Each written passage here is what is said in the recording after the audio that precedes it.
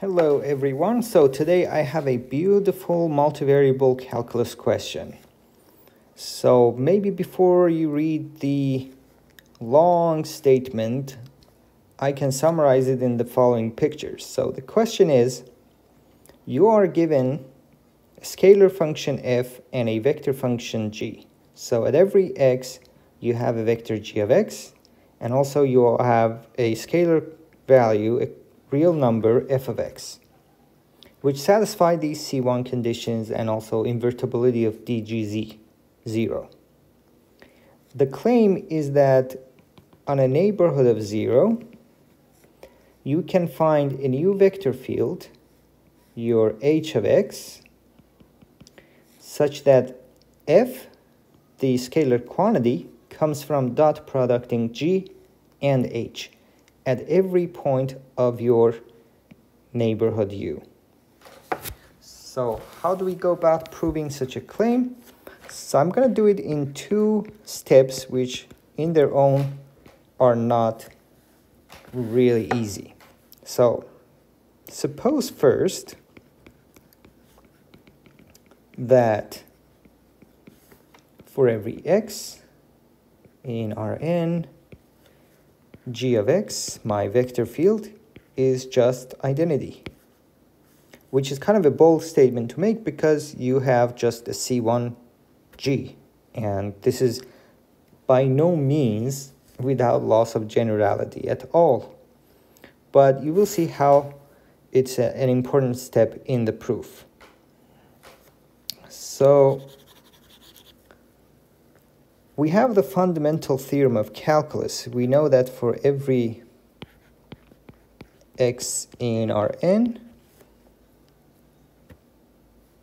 f of x minus f of 0 is integral from 0 to 1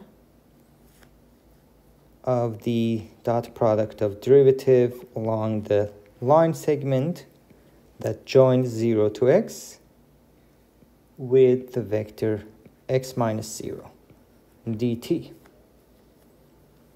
So geometrically all you do is just integrate along this line which connects 0 to x.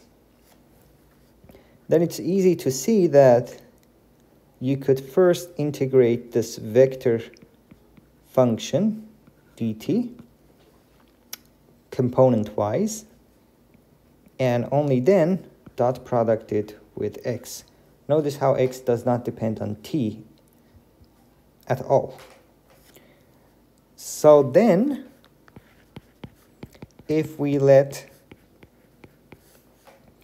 h of x to be just this quantity df tx dt, then for every x in Rn, f of x is h of x dot x, but x is our gx. So we have solved our problem in this case, except that, so exercise, I'm not going to show this, h from Rn into Rn is continuous. It's not C1 because you've taken one derivative of f and f was only C1. So df is actually just continuous. Uh, to prove continuity of h is not actually um, too obvious. You have to use uniform continuity of h on compact neighborhoods. That's a beautiful exercise, so I leave it there. So in this case, I actually managed to do this equality on whole of Rn, not even restrict to a neighborhood. So where does this restriction come from in the general case?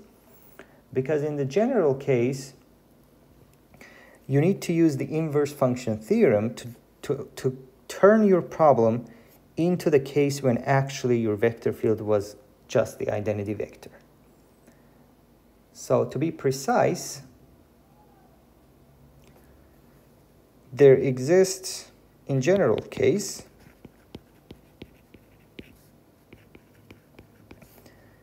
there exists this open neighborhood of 0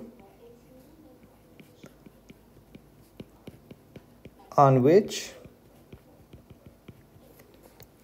g is invertible, g itself, not just its derivative, and g inverse is c1. That's the very statement of the inverse function theorem. Let let's consider the scalar function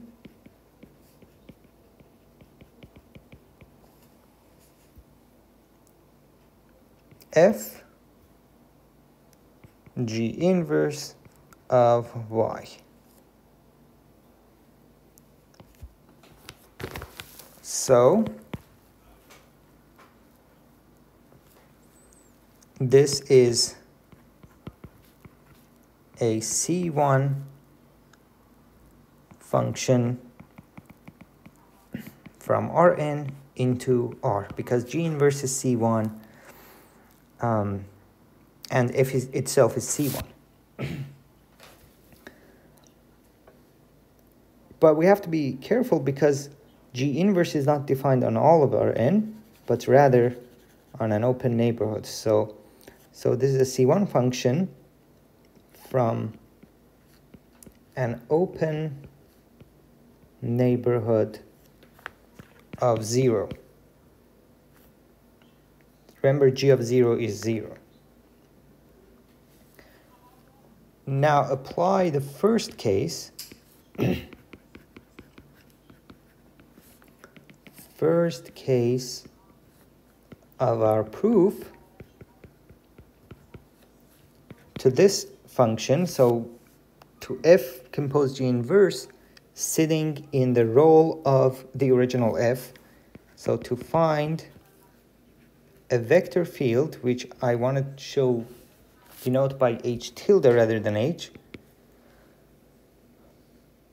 So from some open neighborhood into Rn continuous such that for every x in u, my function, my scalar function, which is f of g inverse of y, equals h tilde of y dot product with y. So the notation y is, of course, of superficial difference, um, but it helps visualize the change of variables from x to y via the map g and g inverse. So, but, but existence of this h, h tilde continuous was what we proved in the first case. So this is a C1 function if OG inverse is a C1 function. And as a result, we can find this h tilde solving this equation. So we show that if g was your vector field, this was possible. And this, this is sitting in the role of f, and g is the constant y, and we've shown this case. So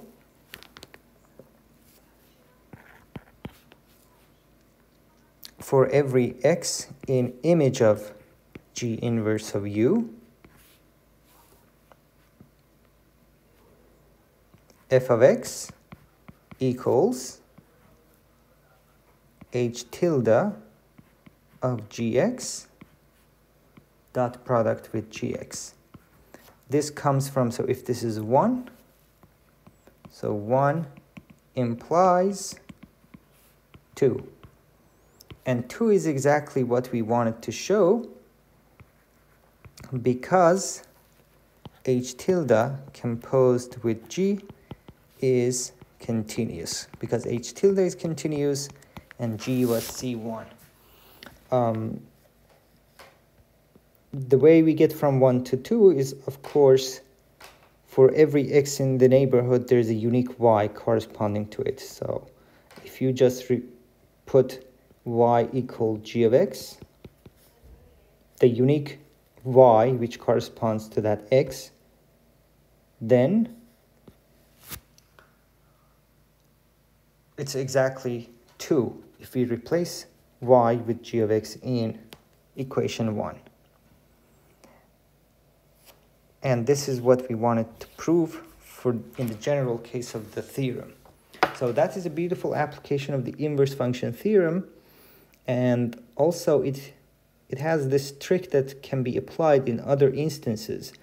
If you can show it for the identity function, and if you know that inverse function can be applied, then first show it for the identity function, and then turn the generic function into the identity function using the inverse function theorem.